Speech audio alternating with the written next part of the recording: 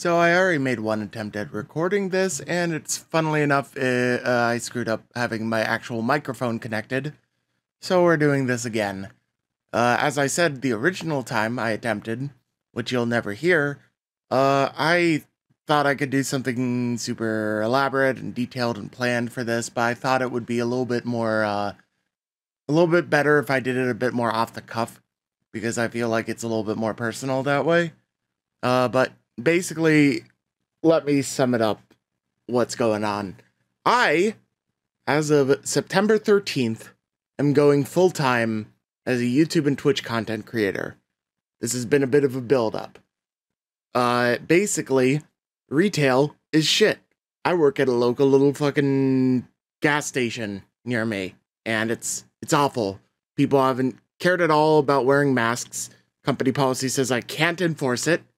Uh, people have been getting ruder. People haven't been caring. Uh, it's it's it's just heartbreaking in a way, and it's also frustrating as shit because people have been assholes, and I have been getting to the boiling point where I uh, really have to try to hold myself back from just like exploding on people, saying "fuck you, get out," kind of shit, which obviously would get me fired instantly. So I that on top of some other things that have gone around a few about a month or so back i sort of hit a breaking point and i just couldn't. So i what i usually do is i go to funnily enough my mother who is really chill but is also i mean obviously has been a supportive supportive figure in all of my life. And i talked to her about it. And she convinced me that i should uh talk to the father unit, the father unit being my dad, to cover me for a short term. Basically, he is going to be covering my personal expenses for six months. That is how long I have to prove that I can do anything with this.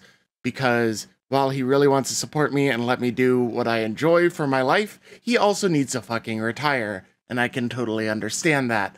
So, uh, if in six months' time I can't show any decent progress with YouTube or Twitch, I'm gonna have to go find another job. Maybe go straight back to retail. I don't fucking know, but I'm not looking forward to it. So as of right now, I'm in a really anxious state, and I'm hoping that you guys will continue to support me as you have been. It's been fantastic. It's been fun. I've been enjoying streams and YouTube a lot more recently. It feels like I'm getting somewhere with my life and I I love that feeling, and I want to keep pushing it. But at the same time, uh, I understand that it's 2020 and shit is awful, and not everyone's in a good enough situation to just like toss money everywhere. So if you if you are somehow financially stable and you enjoy this bearded redhead enough to actually support him in doing this dumb shit for a living, basically being a glorified shit poster, uh, then feel free to sub on Twitch uh, donate to the Patreon. Once the membership YouTube memberships come back up, you can do that.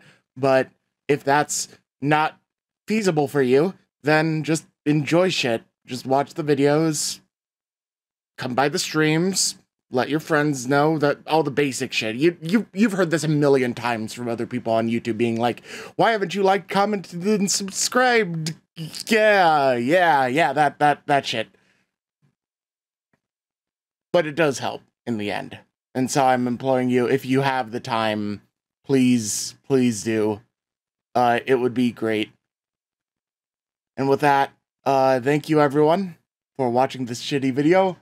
I hope to make better videos in the future that aren't just rambling, and hope you have a good day.